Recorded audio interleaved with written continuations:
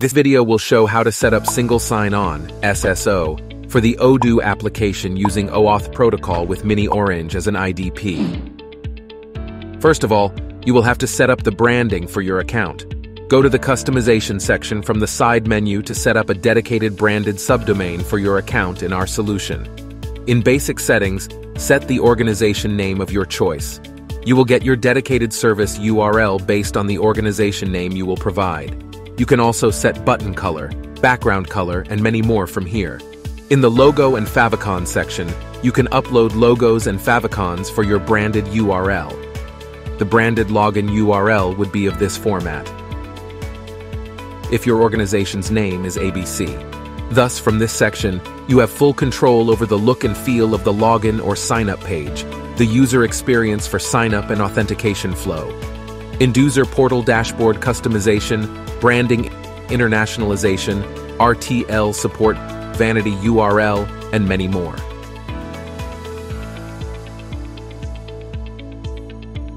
First, log into the miniOrange admin console as a customer. To add Odoo as an application, go to the Setup app card and click on the Setup button. Now click on the OAuth OIDC application type. Search for the Odoo application. Here, enter the client information accordingly. Choose an appropriate client name according to your choice. Enter redirect URL. Enter the description of your choice. To edit the application, go to Select against your configured application, and then edit from the drop-down. Save the client ID, client secret from here, and OAuth endpoints from this link.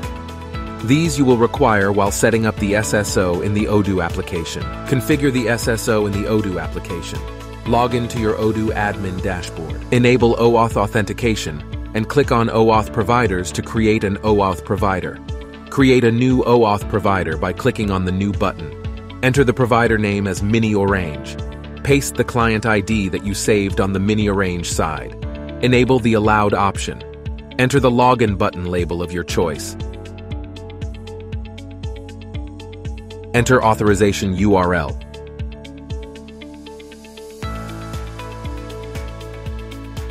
Enter user info URL. Enter data endpoint respectively. And save. miniOrange as an OAuth provider is added successfully. Now go to your Odoo base URL page and you will find your created OAuth provider. Click on miniOrange. This will redirect you to miniOrange login page. Enter your credentials and you will be successfully logged in. I hope I was able to make you understand how to configure single sign-on for the Odoo application using miniOrange as an IDP